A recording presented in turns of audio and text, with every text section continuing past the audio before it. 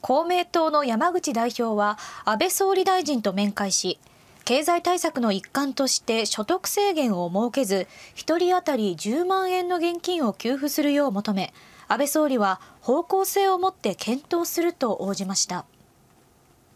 1人当たり10万円所得制限をつけないで国民に給付するこれを総理に決断を促しました。はい山口代表は緊急事態宣言を受けて経済や社会に大きな影響が出ているとして所得制限をつけず1人当たり10万円の現金給付を行うよう安倍総理に求めました。